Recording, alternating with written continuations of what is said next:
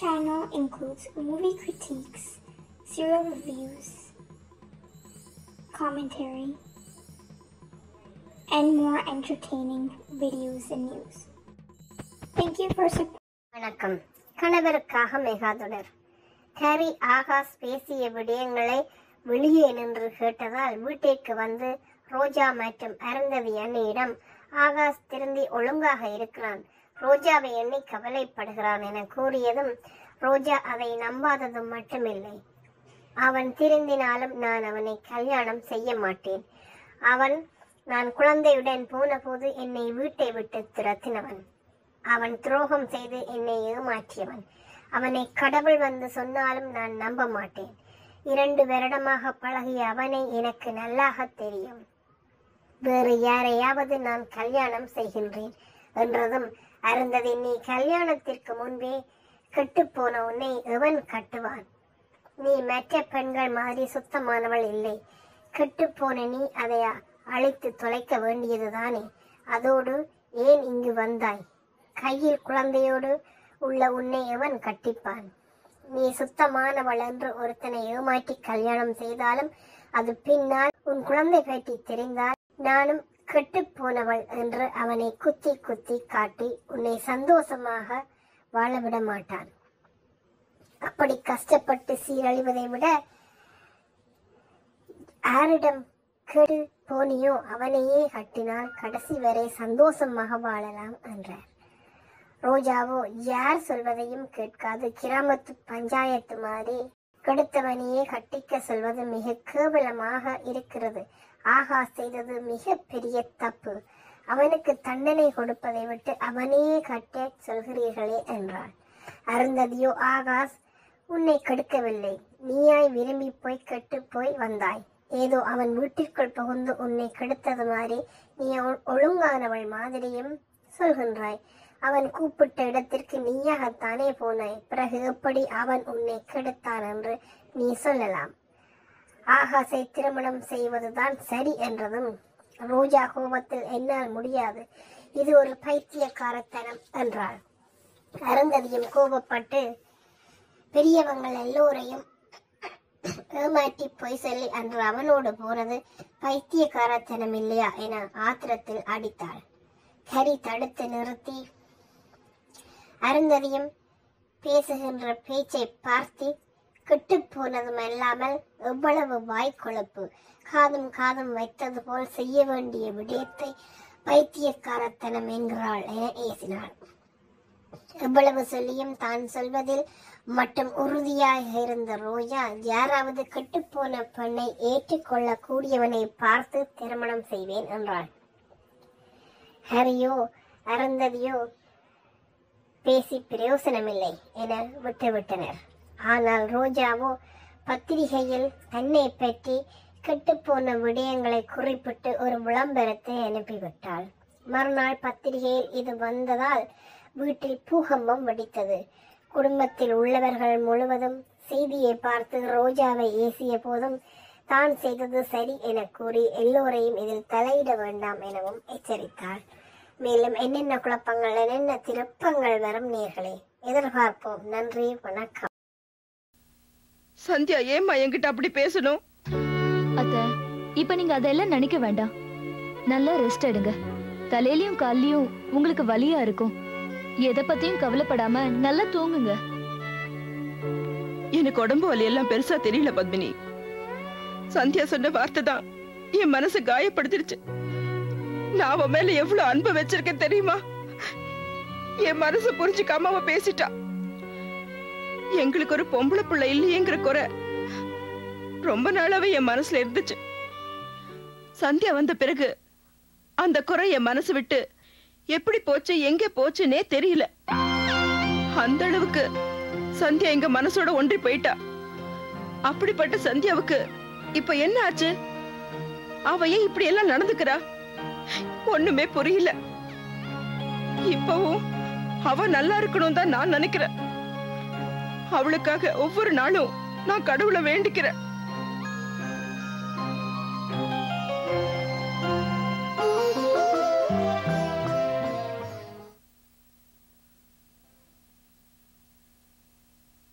கொஞ்ச நேரத்துக்கு முன்னாடி இந்த வீட்ல என்ன நடந்துச்சு?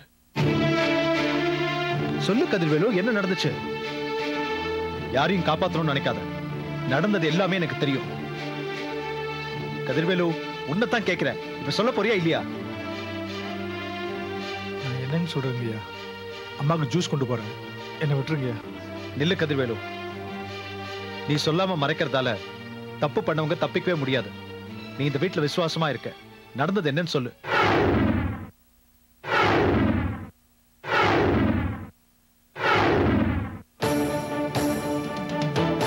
சத்யாவுக்கு மறுபடியும் பைத்தியம் பிடிச்சிருச்சு போட்டு பழைய ட்ரீட்மெண்ட் ஆரம்பிச்சாதான் இனிமே அவளுக்கு சரிப்பட்டு வரும். விக்ரம் கதிர்வேலு போங்க. விக்ரம் கோவத்துல அவசரப்பட்டு எந்த முடிவு எடுக்காத. அது நல்லதில்ல. நீ போ. சந்தியா வரட்டும் அப்புறம் பேசிக்கலாம். இல்ல சித்தப்பா. இப்படியே விட்டு விட்டுதான் அவளுக்கு திமிரு அதிகமாயிடுச்சு. அம்மா அவன் மேல எவ்வளவு பாசமா இருந்தாங்க. சந்தியா ஏதாவது தப்பு பண்ணி நான் திட்டினா கூட அம்மா அவளை கண்டிக்காம என்ன திட்டிட்டு இருப்பாங்க? இன்னைக்கு அம்மாவையும் மனசு புண்படுற மாதிரி பேசியிருக்கா. அவளை விடக்கூடாது சித்தப்பா. நீங்க தள்ளுங்க. விக்ரம் விக்ரம்.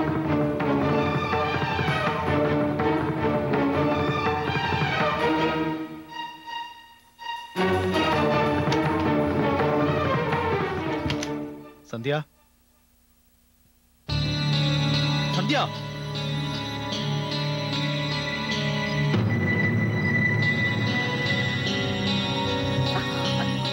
நான் கூப்பிட்டதும் காதல கேட்கல எப்படிங்க கேக்கும்? நான் தான் வாக்வேல பாட்டு கேட்டுட்டு இருந்தேனே. சூப்பர் சாங்ஸ்ங்க ஹரிஹரனோட கசல்ஸ் எவ்வளவு பிரமாதமா இருக்கு தெரியுமா? நீங்க கேக்குறீங்களா? உன் பாட்டை கேட்கவே எனக்கு நேரம் இல்ல. இதுல மத்தவங்க பாட்டு வேற எனக்கு கேட்க சொல்றியா? இத பாருங்க.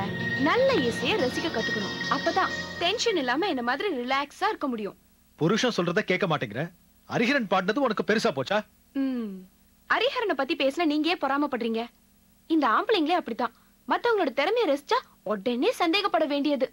இந்த பாருங்க. ஹரிஹரனோட திறமைய ரசிக்கிற பொம்பளைங்க எல்லாம் அவரை கல்யாணம் பண்ணிக்கிட்டா அவருக்கு தசரதனை விட நிறைய பொண்டாட்டிங்க இருப்பாங்க. சந்தியா தேவையில்லாம பேசிட்டு இருக்காத. அம்மாவை என்ன சொன்ன? நான் என்ன சொன்னதா அவங்க உங்ககிட்ட சொன்னாங்க? நீ என்ன சொன்ன? அத சொல்லு. தேவையில்லாம பேசிட்டு இருக்காத. நீங்க தான் என்ன தேடி வந்து பேசிட்டு இருக்கீங்க? நானா உங்களை தேடி வந்து பேசுறேன்? இத பார் சந்தியா எங்க அம்மாவை பத்தி இனிமே ஏதாவது சொன்ன நான் மனுஷனாவே இருக்க மாட்டேன். இப்ப மட்டும் நான் மனுஷனாவா இருக்கீங்க? நான் பாட்டுக்கு வாக்மேன்ல பாட்டு கேட்டுட்டு இருந்தேன் நீங்க பேட்மேன் மாதிரி வந்து நான் பாட்டு கேட்கறத தடுத்துட்டீங்கல்ல? சந்தியா வர வர நீ என்ன பேசுற என்ன பண்றேன்னு எங்களுக்கு ஒண்ணும் புரியல. உனக்காவது புரியுதா இல்லையா? நான் அதே பழைய சந்தியா தாங்க. உங்களுக்கு தான் எல்லாம் புதுசா தெரியுது. உன்னால எப்பவுமே எனக்கு இம்சைதான் மூட்டை பூச்சி மாதிரி என் தூக்கத்தை கெடுக்கணும்னே வந்திருக்கேன். என்ன டார்ச்சர் பண்றதை இதோட நிறுத்திக்கோ. என் அம்மாவை பத்தி ஏதாவது பேசின நான் சும்மா விட மாட்டேன். அம்மாவுக்கு கால் சுளுக்கு வந்து நடக்க முடியாம இருக்காங்க. நீ வாக்மேன்ல பாட்டு கேட்டுட்டு இருக்கியா பத்மினி பாவம். அம்மா பக்கத்துல இருந்து கவனிச்சிட்டு இருக்கா அப்படின்னா உங்க அம்மாவை ஒரு பைத்தியக்கார ஹாஸ்பிட்டல் அட்மிட் பண்ணுங்க. சந்தியா உனக்கு தான் பைத்தியம் பிடிச்சிருந்தது. இப்ப மறுபடியும் பிடிக்க ஆரம்பிச்சிருக்குன்னு நினைக்கிறேன். உங்க அம்மா தான் பைத்தியக்கார மாதிரி என்ன பத்தி தப்பு தப்பா பேசிட்டு இருக்காங்க இத பார். வாயை அடக்கி பேசு. இப்ப கூட உன்னை பத்தி அம்மா எதுவும் சொல்லல. கதிர்வேல தான் நடந்ததெல்லாம் சொன்னா ஓஹோ. ஆஃப்டர் ஆல் ஒரு வேலைக்காரன் சொன்னதை கேட்டுதான் இவ்ளோ ஆர்ப்பாட்டம் பண்றீங்களா? அந்த வேலைக்காரன் கூட அவனா சொல்லிருக்க மாட்டான். உங்க அம்மா மனசுல இருக்கிறது தான் சொல்லிருக்கான்னு அர்த்தம். இத பார். பழைய பைத்தியம் உனக்கு திரும்பி வந்திருக்குன்னு சொன்னேல அது உண்மைதான். முதல்ல உன்னை கொண்டு போய் பைத்தியக்கார ஆஸ்பத்திரியில சேர்க்கணும். என்ன பைத்தியக்கார ஹாஸ்பிட்டல்ல சேர்க்கறதா இருந்தா கூடவே உங்க அம்மாவையும் அனுப்பிச்சு வைங்க. ஏன்னா நாங்க ரெண்டு பேரும் ஒருத்தருக்கு ஒருத்தர் துணையா இருப்போம். எங்க அம்மாவை ஏன் சேர்க்கணும்? ஆமா. நேத்து ஒரு மாதிரி இன்னைக்கு ஒரு மாதிரி மாறி மாறி பேசுறவங்க பைத்தியம் தானே? அப்படின்னா உங்க அம்மாவும் பைத்தியம் தான். முதல்ல என்ன பத்தி என்ன சொன்னாங்க? எனக்கு அடிச்ச மருமக மாதிரி வேற யாருக்கும் கிடைக்க மாட்டா? என் மக இப்போ உயிரோட இருக்கானா? அதுக்கு என் மருமக தான் காரணம். என் மருமக எனக்கு தெய்வம் கொடுத்தது. அதுக்கும் மேல எத்தனை மருமக வந்தாலும் நீதான் இந்த வீட்டுக்கு நிரந்தர மருமக. அப்படியெல்லாம் சொல்லிட்டு இன்னைக்கு பத்மினி பார்த்த உடனே இப்ப என்னையே குத்த சொல்றாங்கன்னா என்ன அர்த்தம்? அவங்க மனசு குழம்பு இருக்குன்னு தானே அர்த்தம். அப்ப அவங்க பைத்தியக்கார ஹாஸ்பிட்டல் சேர்க்கணும்னு நான் சொன்னதுல என்ன தப்பு இருக்கு? நான் பண்ற பெரிய தப்பே எல்லாரையும் நம்புறதாங்க. பத்மினிய பத்தி எனக்கு நல்லா தெரியும். தெரிஞ்சு நானே அவளை இந்த கூட்டிட்டு வந்தேன். பாம்புன்னு தெரிஞ்சு பாலை ஊத்துற மாதிரி அவ வந்த உடனே அத்தைய மைக்கு பாக்கெட்ல போட்டுக்கிட்டா. என்ன தெய்வம் தேவதைன்னு சொன்ன அத்தை இன்னைக்கு என்ன ஒரு எதிரி மாதிரி பாக்குறாங்க. பரவாயில்லங்க பரவாயில்ல. எனக்கு கடவுள் இருக்காரு. நீங்க எல்லாரும் அவளை தலையில தூக்கி வச்சு ஆடுங்க. அவளே இந்த வீட்டுல நல்லா இருக்கட்டும். சந்தியா நாங்க எல்லாரும் வேண்டாம் வேண்டாம் தான் சொன்னோம். நீதான் இந்த கல்யாணம் நடந்தே தீரும்னு ஒத்த கால்ல நின்னு எங்க கல்யாணத்தை நடத்தி வச்ச. இப்போ வந்து பத்மினியை குறை சொன்னா நான் என்ன பண்ண முடியும்? ஆமா ஆமா. நான் தானே உங்க ரெண்டு பேருக்கு முதல்ல கல்யாணம் பண்ணி வச்சேன். என்னை ஏமாத்தி ரெண்டு பேரும் ஏற்கனவே கல்யாணம் பண்ணிக்கிட்டு. சந்தியா அதெல்லாம் ஏற்கனவே முடிஞ்சு போச்சு. மறுபடியும் எங்களை தேடி பிடிச்சு நீதானே கல்யாணம் பண்ணி வச்ச? நான் ஏதோ ஒரு நல்ல எண்ணத்துல பண்ணேன். இப்படி நீங்க ரெண்டு பேரும் சேர்ந்துட்டு என்ன வீட்டை விட்டு விரட்டுவீங்கன்னு நான் எதிர்பார்க்கல. நாங்க யாரும் உன்னை விரட்டணும்னு நினைக்கல. நினைக்கிறீங்க? இல்லனா ஆஃப்டர் ஆல் ஒரு வேலைக்காரன் சொன்னதை கேட்டு வந்து என்கிட்ட இவ்வளவு நேரம் பேசுவீங்களா? என்ன விரட்டிட்டு என் இடத்துல வேற ஒரு பொண்ணை கூட்டிட்டு வரணும்னு பாக்குறீங்க? சந்தியா நீ இப்படியே பேசிக்கிட்டு இருந்த இந்த வீட்ல உனக்கு இடம் இல்லாம போயிடும். ஜாக்கிரதை.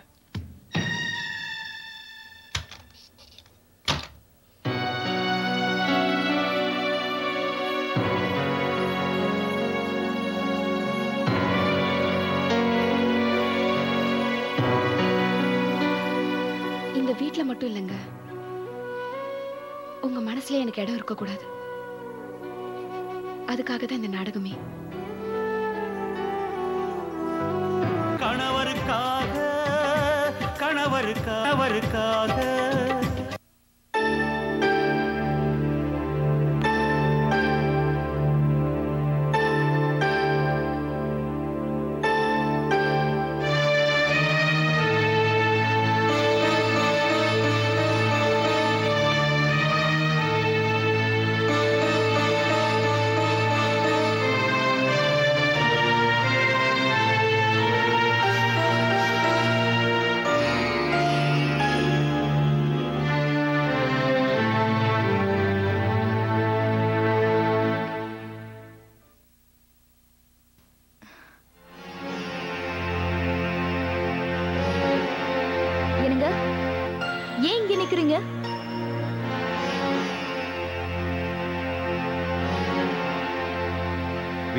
வந்தா சூடா இருக்கே. எல்லாமே கொதிக்குது. ஏன் இப்படி எல்லாம் பேசுறீங்க? என்னாச்சு உங்களுக்கு? ஒன்னும் ஆகல. அதான் பிரச்சனையே. நான் ஒரு முட்டாள். ஏமாளி. ஏன் இப்படி எல்லாம் பேசுறீங்க? உண்மைதான் யார் யாருக்கு தாலி கட்ட சொன்னாலும் கட்டிடுறேன். யார் எதை பத்தி சொன்னாலும் அதையும் நம்பிடுறேன். எதையும் நான் யோசிக்கிறது இல்ல நீங்க ஏன் மேல இருக்கிற கோவத்துல தான் இப்படி பேசுறீங்கன்னு எனக்கு தெரியும். தெரியுதுல்ல. அப்புறம் எதுக்கு போய் சொன்னேன் நான் பொய் சொல்லலைங்க. உண்மையை சொல்லாம மறைச்ச அவ்வளவுதான். ரெண்டும் ஒண்ணுதான். இந்த வீட்ல என்ன நடக்குதுன்னு ஒரு வேலைக்காரன் சொல்லி தெரிஞ்சுக்க வேண்டியதா இருக்கு. கதிர்வேலு உங்களுக்கு நடந்த விஷயத்த சொன்னது. வெங்கட் அங்கிள் தடுத்தது. நீங்க சந்தியா ரூமுக்கு போய் அவளை திட்டினது. எல்லாமே எனக்கு தெரியும். நீ எல்லாத்தையும் தெரிஞ்சு வச்சிருக்க. என்னதான்? ஒண்ணும் தெரியாதவனா மாத்திட்டீங்க.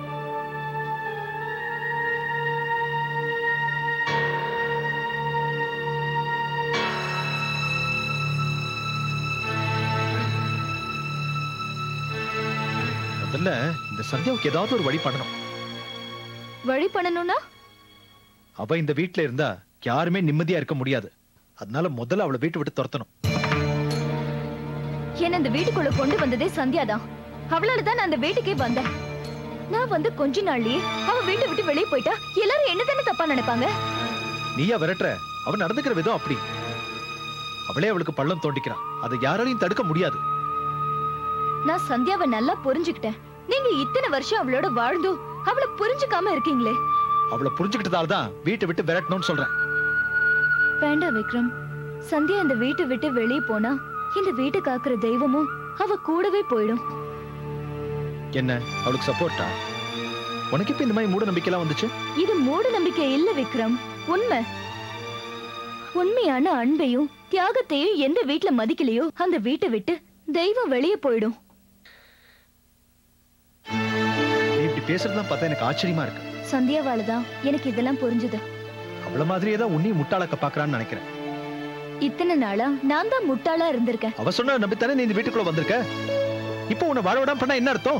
இல்ல விக்ரம். என்ன இந்த வீட்ல நிரந்தரமா வாழ வைக்கிறதுக்காக சந்தியா நடத்துற நாடகம் இது. ஏன் சிரிக்கிறீங்க? இல்ல சந்தியா தான் கொஞ்ச நாள் பைத்தியமா இருந்தான்னு நினைச்சேன். இப்போ உனக்கு என்னாச்சு? நான் சொல்றத நீங்க நம்ப மாட்டீங்க. ஆனா உண்மை அதுதான். புரியலையே. நான் இந்த வீட்ல சந்தோஷமா வாழணும். உங்க மனசுல நிரந்தரமான ஒரு இடத்தை பிடிக்கணும். சந்தியா மேல இந்த வீட்ல இருக்கிறவங்க வச்சிருக்கிற பாசம் எல்லாம் ஏன் பக்கம் திரும்பணும். இதுதான் சந்தியாவோட எண்ணம். அதுக்கு தான் சந்தியா எல்லார் மேலயும் எரிச்சலா இருக்கிற மாதிரி நடிக்கிறா. அவ ஏன் அப்படி நடிக்கணும்? அப்படி நடிக்கிறதுனால அவளுக்கு என்ன லாபம்? லாபம் அவளுக்கு இல்லைங்க. எனக்கு தான். தனக்கு நஷ்டம் வரும்னு தெரிஞ்சுதான் சந்தியா அப்படி எல்லாம் நடிக்கிறா. அதத்தான் ஏன் நடிக்கிறான்னு கேக்குறேன். இந்த வீட்ல இருக்கிறவங்க எல்லாருமே சந்தியா மேலதான் ரொம்ப பாசம் வச்சிருக்காங்க. அந்த பாசம் ஏன் மேல வரணும் தான். சந்தியா அப்படி எல்லாம் நடந்துக்கிறா. உண்மையிலேயே எனக்கு புரியல பத்மினி. புரியுற மாதிரியே சொல்றேன். பிளாக் போர்ட்ல உன்னை எழுதிருக்கு அதுக்கு மேல நம்ம புதுசா எழுதணும்னா என்ன பண்ணுவோம்? பழச அடிச்சுட்டு புதுசா எழுதுவோம். ஆ அந்த வேலையை தான் இப்ப சந்தியா பண்ணிட்டு இருக்கா சந்தியாங்கிற பேரை இந்த வீட்ல இருக்கிறவங்க மனசுல இருந்து அழிக்கணும்னு தான் திட்டம் போட்டு இப்படி நடந்துட்டு இருக்கா சந்தியா அவளும் குழம்பி உன்னி நல்லா குழப்பி வச்சிருக்கா. இல்ல விக்ரம். சந்தியாவை பத்தி எனக்கு நல்லாவே தெரியும். தனக்கு கெடுதல் பண்றவங்களுக்கு கூட சந்தியா இது வரைக்கும் நல்லதுதான் பண்ணிருக்கா. அடுத்தவங்களை கெடுக்கணுங்கிற எண்ணம் அவ மனசுல வந்ததே இல்ல. அப்படிப்பட்ட சந்தியாவா நம்ம கிட்டயும் இந்த குடும்பத்துல இருக்கிறவங்க கிட்டயும் தப்பா நடந்துக்க போறா? யோசிச்சு பார்த்தேன். அப்பதான் அவ நல்ல மனச புரிஞ்சுக்க முடிஞ்சது. இந்த குடும்பத்திலயும் உங்ககிட்டயும் நான் நெருக்கமாகணுங்கிறதுக்காக அவ கொஞ்சம் கொஞ்சமா விலகி போயிட்டு இருக்கா ப்ளீஸ் விக்ரம். நீங்களும் சந்தியாவை புரிஞ்சுக்கோங்க. நான் அவளை பத்தி புரிஞ்சுக்கிட்டனால தான் பேசிக்கிட்டு இருக்கேன். அவ கல்யாணம் ஆகி வந்த புதுசுல எங்க அப்பா அம்மாவை கையில போட்டுக்கிட்டு எனக்கு எதிராவே நடந்துகிட்டு இருந்தா. அப்புறம் அவளுக்கு பைத்தியம் பிடிச்சு இந்த குடும்பத்தையே ஆட்டி வச்சுக்கிட்டு இருந்தா. இவ பைத்தியமா இருந்த நேரத்துல இந்த வீட்டுக்குள்ள நுழைஞ்சாலே ஏதோ போர்க்களத்துல நுழையிற மாதிரி இருக்கும். சரி இனிமே இவ கூட வாட முடியாதுன்னு தான் உனக்கு எனக்கும் கல்யாணம் பண்ண ஏற்பாடு பண்ணாங்க. சரியா தாலி கட்டுற நேரத்துல வந்து கல்யாணத்தையே நிறுத்திட்டா. அதெல்லாம் இயற்கையா நடந்தது. நீங்க நோயை மட்டும்தான் பாக்குறீங்க நான் நோய் வந்ததுக்கான காரணத்தை பாக்குறேன் புரியலையா? சந்தியாவுக்கு பைத்தியம் பிடிச்சதுன்னு சொன்னீங்களே. அவளுக்கு அப்படி பைத்தியம் பிடிச்சதுக்கு காரணமே நீங்களும் நானும் தான் அத மறந்துடாதீங்க அவ நோய்க்கு நம்ம தான் மருந்தா இருக்கணும். ஆனா இல்ல. அதுக்கு பிறகு சந்தியா நம்ம மேல கொஞ்சம் கூட கோவப்படல. நல்லதுதான் பண்ணிருக்கா. சந்தியா அன்னைக்கு நம்ம கல்யாணத்தை நிறுத்தணும்னு வரல. நான் தான் நடக்க இருந்த அந்த கல்யாணத்தை நிறுத்தினேன். ஆனா இன்னைக்கு சந்தியாவால மறுபடியும் எனக்கு ஒரு வாழ்க்கை கிடைச்சிருக்கு. சில பேர் எதிரிய வெளியே அனுப்புனா ஆபத்துன்னு புத்திசாலித்தனமா தன் பக்கத்திலேயே வச்சிருப்பாங்க. அதே மாதிரி தான் சந்தியாவும் உன்னை இந்த வீட்டுல பக்கத்துல கொண்டு வச்சிருக்காளோன்னு சந்தேகமா இருக்கு. இந்த சந்தேக புத்தி ஆம்பளைங்களுக்கு கூட பிறந்த பொறுப்பு மாதிரி. அத அவ்வளவு சீக்கிரம் உங்ககிட்ட இருந்து விரட்ட முடியாது. சந்தியா நல்லவதானு கூடிய சீக்கிரம் உங்களுக்கு புரிய வைக்கிறேன்.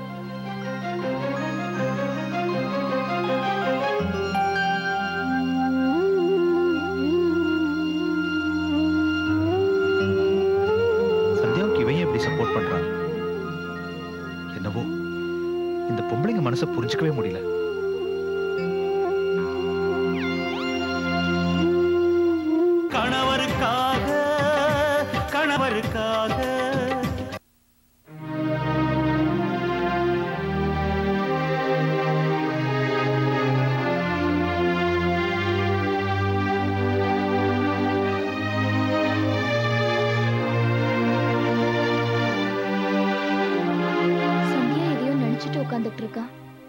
அவகிட்ட பேச போனா ஏடா கூடமா எதையாவது சொல்லுவா.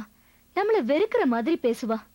அவ நிம்மதியும் கெடுத்த நம்ம நிம்மதியும் கெடுத்த மாதிரி ஆயிடும். வேணாம் அப்புறம் வருவோம்.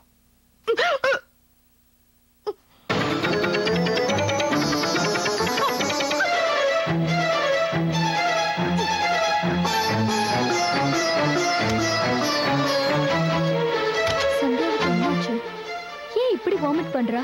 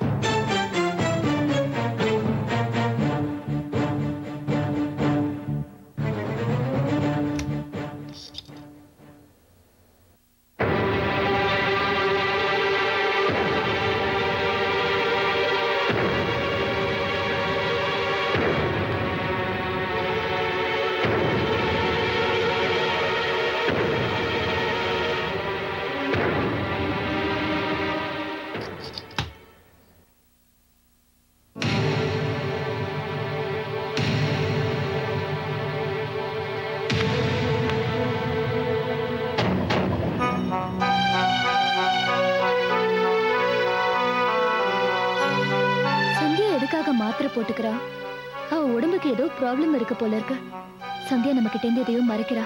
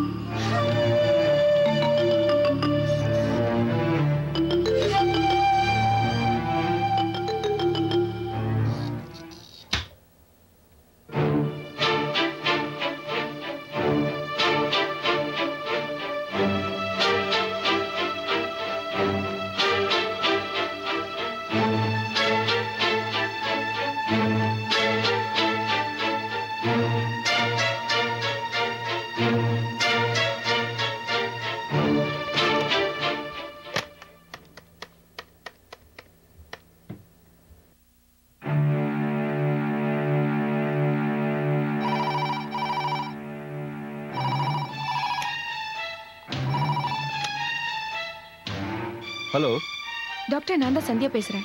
சொல்லுமா திரும்ப ஏதாவது பிரச்சனையா? புதுசா ஒரு ப்ராப்ளம் இல்ல டாக்டர் அடிக்கடி தலை பயங்கரமா சுத்துது. வாந்தி வேற வருது.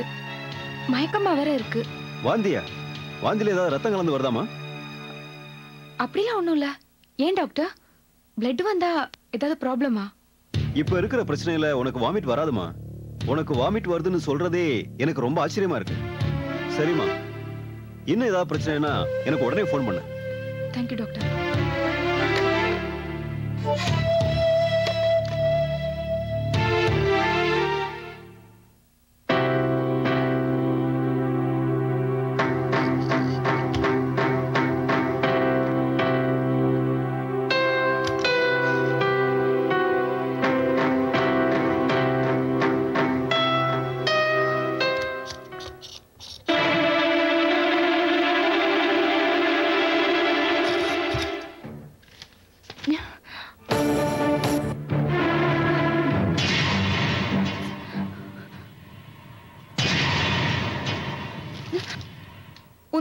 மறுபடியும் ஆரம்பிச்சிட்டியா? அதுவும் என் ரூம்லயே திருட வந்துட்ட? நான் தான் என் புருஷனே கொடுத்துட்டேனே. இப்ப இங்க என்ன இருக்கு திருடுறதுக்கு? சந்தியா நீ எதையோ என்கிட்ட மறைக்கிற. உனக்கு என்னவோ ஆயிருக்கு. உனக்கு என்ன ப்ராப்ளம் என்கிட்ட சொல்லு. அதெல்லாம் ஒண்ணும் இல்ல. போ வெளிய. இப்ப நீ வாமிட் பண்ணத நான் பார்த்தேன். ஆஹாஹா. நான் வாமிட் பண்ணத பார்த்ததும் எங்க இவ கர்ப்பம் ஆயிடுவாளோன்னு பயந்துட்டியா? எனக்கு குழந்தை பிறந்துட்டா உனக்கு பிரச்சனை வரும்னு டென்ஷன் ஆயிட்டல பயப்படாத பத்மினி. எங்க இவ புள்ளைய பத்திக்கிட்டு நம்ம குடும்ப வாழ்க்கையை கெடுத்துருவாளோன்னு பாக்குறேன் நாம புள்ள பத்தி கொடுக்கத்தான் இந்த வீட்டுக்கு வந்திருக்கோம். இவ புள்ளைய பத்திக்கிட்டா நமக்கு வேலையெல்லாம் போயிடுமோன்னு பயப்படுறேன். எனக்கு தான் குழந்தை பிறக்காதுன்னு அந்த டாக்டர் சொல்லிட்டாரு. நீ டென்ஷன் ஆகாத. போ. சந்தியா நீ என்ன என்ன வேணாலும் திட்டு அடி கொல்ல கூட பண்ணு. எல்லாத்துக்கும் உனக்கு உரிமை இருக்கு. ஆனா நான் கேக்குற கேள்விக்கு பதில் சொல்லு. உன் உடம்புக்கு என்ன? சொல்லு சந்தியா உன் உடம்புல ஏதோ ப்ராப்ளம் இருக்கு. முன்ன மாதிரி பேசுறது இல்ல மனசுல எதையோ நினைச்சுட்டு தான் எல்லார்கிட்டயும் உன் மேல வெறுப்பு வர மாதிரி நடந்துக்கிற. சொல்லு சந்தியா. இத பாரு. எதுவா இருந்தாலும் என்கிட்ட சொல்லு. நான் உன் ஃப்ரெண்டு தானே. உன் நல்லது கெட்டதுல எனக்கு அக்கறை இருக்காதா? நீ ஆராய்ச்சி பண்ணதெல்லாம் போதும். பேசாம இங்க இருந்து போயிடு. இல்லனா மரியாதை கெட்டு போயிடும். பரவாயில்ல சந்தியா. நீ என்ன கோவப்படுத்தணும்னு பாக்குற. ஆனா அது உன்னால முடியாது. உனக்கு என்ன ப்ராப்ளம்னு தெரிஞ்சுக்காம நான் இங்க இருந்து போக மாட்டேன். என்னோட ப்ராப்ளமே நீதான். போ பத்மினி. சந்தியா போன்னு சொல்லிட்டு இருக்க. சந்தியா ஓடி வெளியே.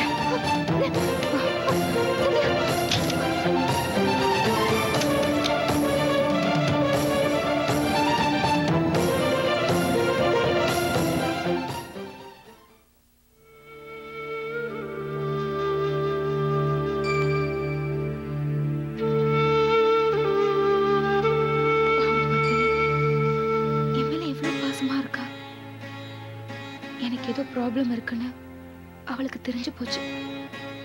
எப்படியாவது என்னை காப்பாத்தணும்னு துடிக்கிறான். உன்னால முடியாது பத்மினி. இனிமே என்னை காப்பாத்த அந்த கடவுள் நினைச்சா கூட முடியாது.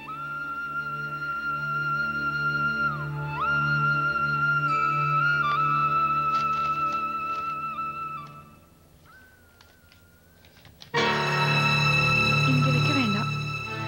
இந்த இடம் அவளுக்கு தெரிஞ்சு போச்சு. மறுபடியும் வந்து பார்த்தாலும் பாப்பா. அவளுக்கு தெரியாம வேற எங்க வைக்கலாம்?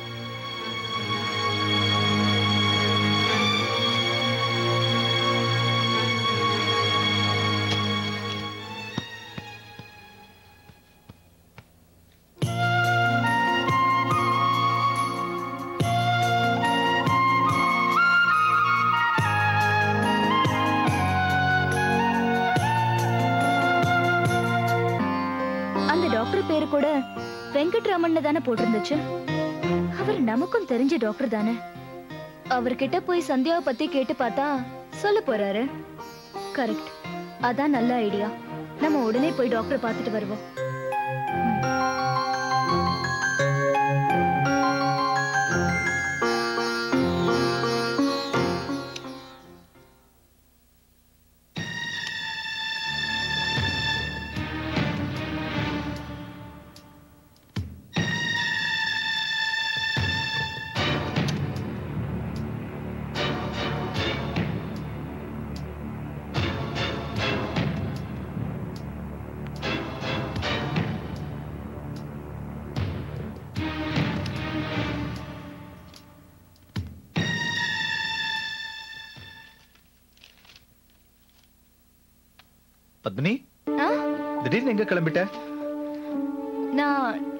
வெங்கட்ராமனை பார்க்க போறேன். ஏ என்னாச்சு உனக்கு? உடம்புக்கு ஏதாவது ப்ராப்ளமா எனக்கு ஒண்ணும் இல்ல. என் ஃப்ரெண்ட் ஒருத்திய டாக்டர் வெங்கட்ராமன் கிளினிக்ல டெலிவரிக்காக சேர்த்திருக்காங்க. இப்பதான் ஃபோன் பண்ணா. அதான் போய் பார்த்துட்டு வரலான்னு போறேன். அப்படியா? ஒரு பத்து நிமிஷம் வெயிட் பண்ணு. எதுக்கு? நானும் உன் கூட வரேன். அதெல்லாம் வேண்டாங்க. நான் போய் பார்த்துட்டு உடனே வந்துடுறேன். உங்களுக்கு எதுக்கு சிரமம்? நீங்க ரிலாக்ஸ்டா இருங்க. நான் போயிட்டு வந்துடுறேன். ஒன்றும் ப்ராப்ளம் இல்லையே. நோ ப்ராப்ளம் எனக்கு டிரைவிங்கும் புதுசு இல்ல இந்த ஊரும் புதுசு இல்ல எனக்கு பொண்டாட்டி புதுசாச்சே. சரி நான் போயிட்டு வந்துடுறேன். சரி.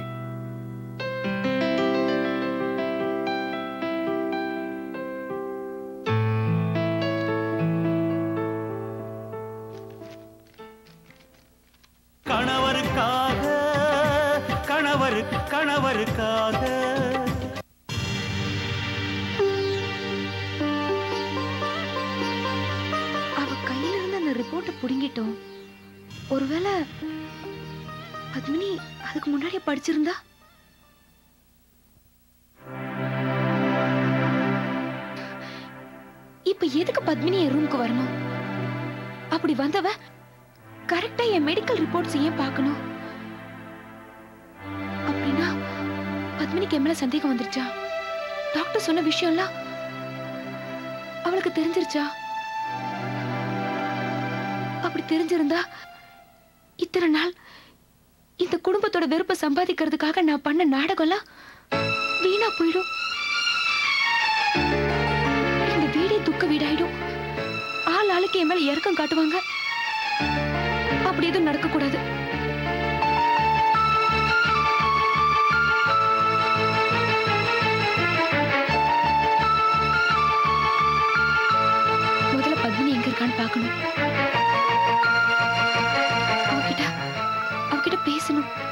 அப்பதான் மனசுக்கு நிம்மதியா இருக்கும்.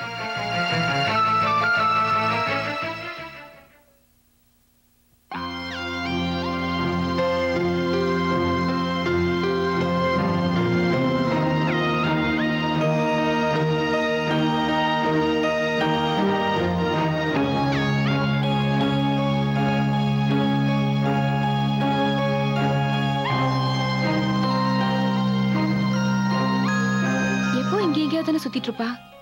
எங்க போயிட்டா?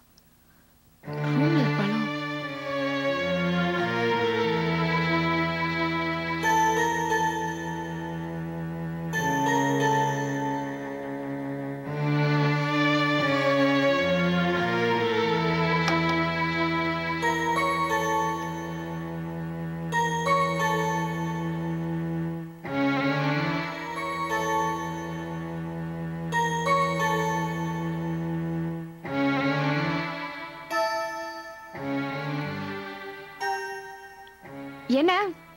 நான் இந்த ரூமுக்கு வந்தது உங்களுக்கு கஷ்டமா இருக்கா? நான் இங்க வருவேன் நீங்க எதிர்பார்க்கல நான் இப்ப எதுவுமே சொல்லலையே. நீயா கேள்வி கேட்டுக்கிற? நீயா அதுக்கு பதிலும் சொல்லிக்கிற. கொஞ்ச நாளாவே இப்படித்தான் இருக்க. நீங்களும் தான் மாறிட்டீங்களே. ஜூனியர் பொண்டாட்டி வந்ததும் சீனியர் பொண்டாட்டிய மறந்துட்டீங்களே. என்னங்க நான் பேசிட்டே இருக்கேன். பதில் சொல்ல மாட்டீங்களா? நீ கேட்கிற கேள்விக்கெல்லாம் என்னால பதில் சொல்ல முடியாது.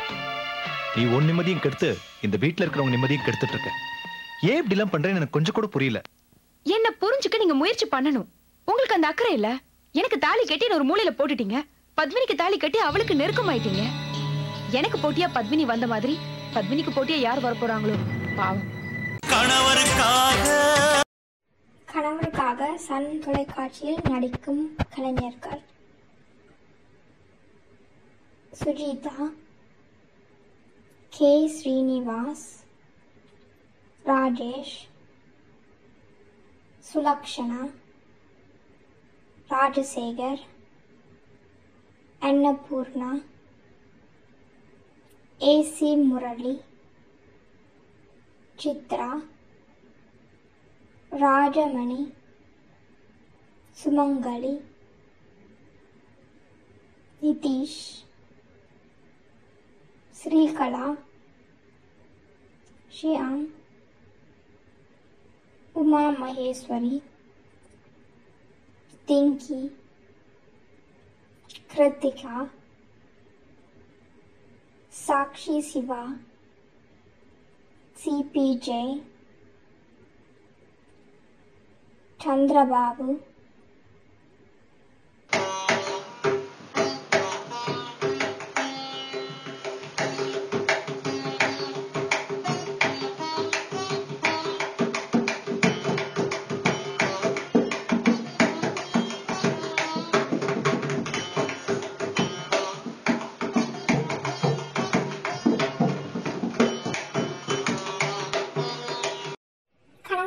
Sun தொலைக்காட்சியில் நடிக்கும் கலைஞர்கள்.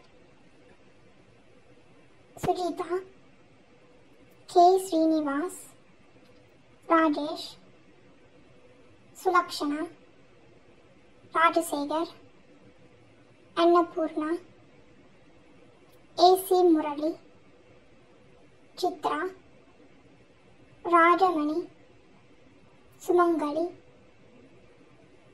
Nithish. Srikala Shyam Uma Maheshwari Tinky Krithika Sakshi Shiva CP Jai Chandrababu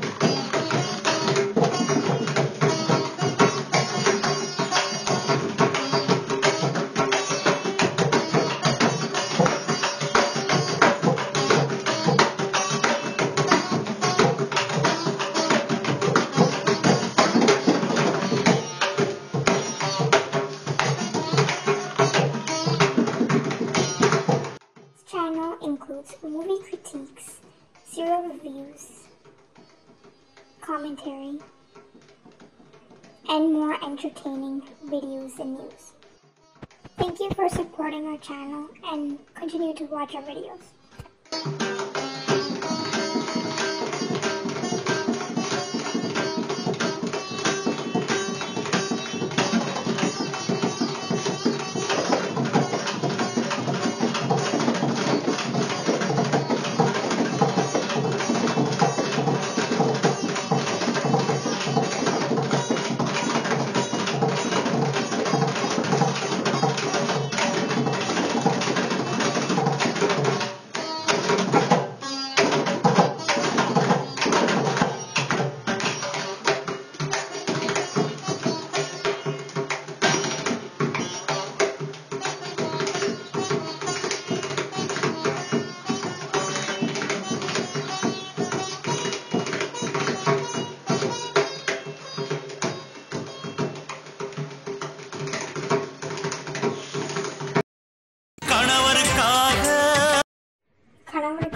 Sun தொலைக்காட்சியில் நடிக்கும் கலைஞர்கள்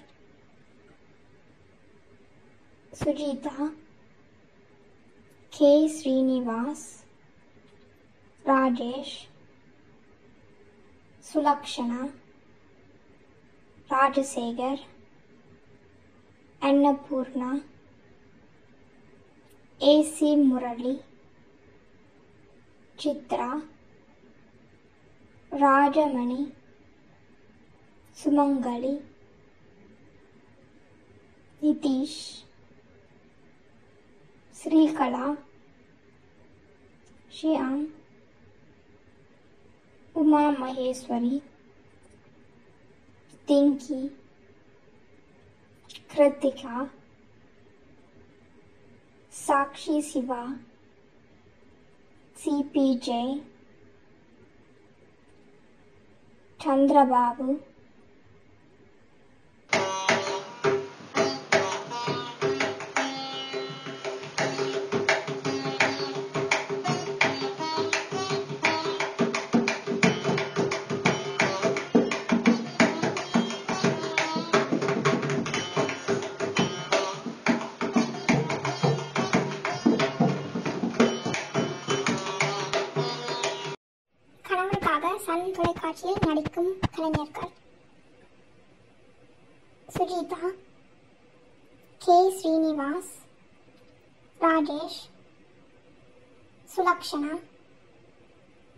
Rajasekar Annapurna AC Murali Chitra Rajamani Sumangali Nithish Srikala Shyam Uma Maheswari Pinki Kiruthika Sakshi Siva CPJ, Chandra Babu.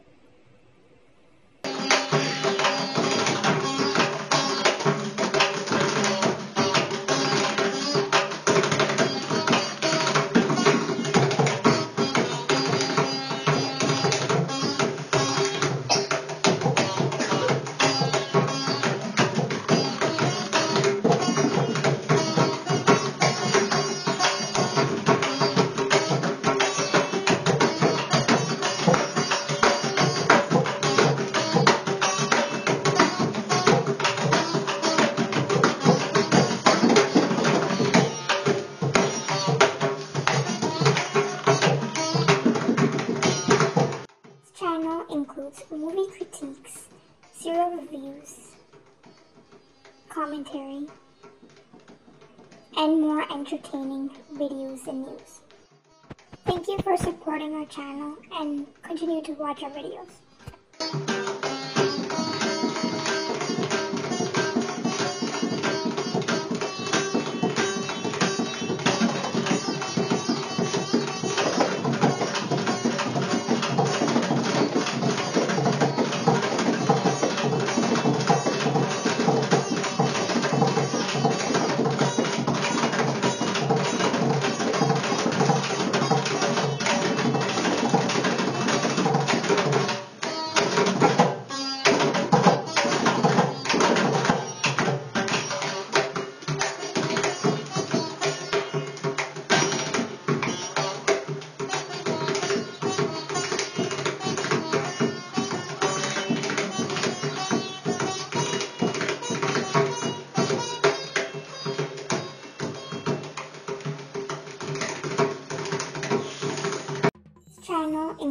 Movie critiques, serial reviews, commentary, and more entertaining videos and news.